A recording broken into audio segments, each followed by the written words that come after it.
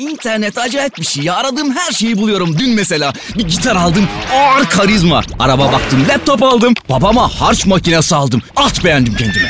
At. Onu da alacağım. Bana ne? Ben ev arıyorum. Ev bulmak istiyorsan Türkiye'de emlak işinin tek bir uzmanı var. Hürriyetemlak.com. Burada sadece emlak var.